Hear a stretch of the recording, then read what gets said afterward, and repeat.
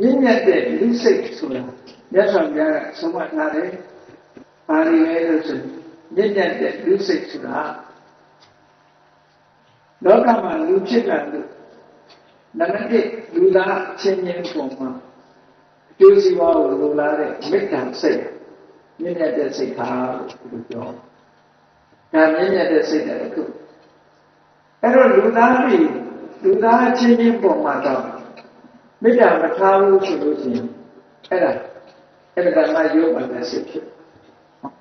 လူစိတ်ကင်းကင်းတော့ဘာလို့လဲဆို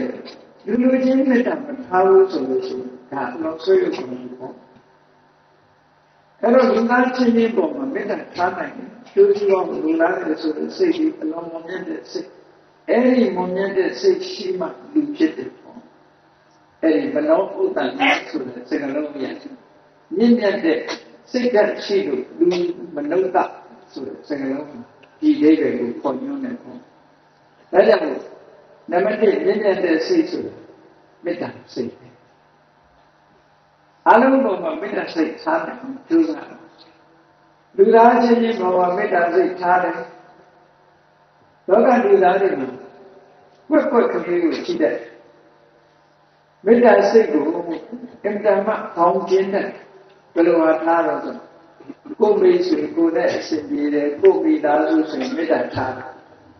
ကျန်တဲ့ပုဂ္ဂိုလ်တွေဆိုရင်မေတ္တာထားစိတ်မျိုးဘုသူသေးသေးငတေမှာပြီးတော့ဆွေးရုပ်တဲ့စိတ်မျိုးပဲလေဟောမြတ်စွာဘုရားရဲ့ဒေသနာတော့အဆုံးမှရ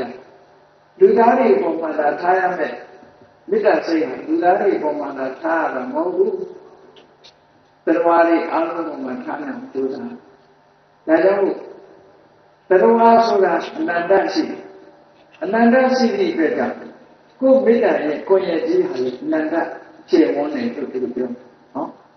မေတ္တာတရားဟာခြေဝန်းနေအနန္တမေတ္တာလို့ဖြစ်တယ်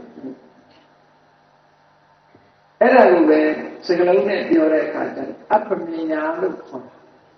အပ္ပမညာဆိုတဲ့စကလုံးက ဘာကိုပေါ်နေတာလဲဆိုအတိုင်းက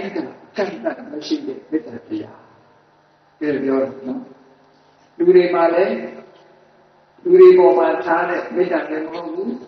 သက်ရှိတ attva တွေအားလုံးသက်ရှိတ attva တွေကဘယ်လောက်များလဲတိုင်းတာမရှိတော့များ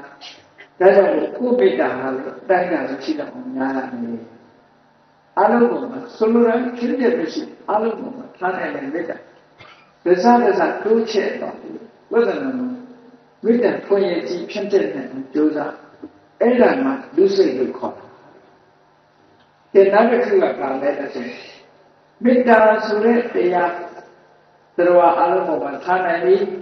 လူသားအလုံးကိုကိုယ်နဲ့တဲ့သူမတဲ့သူနော်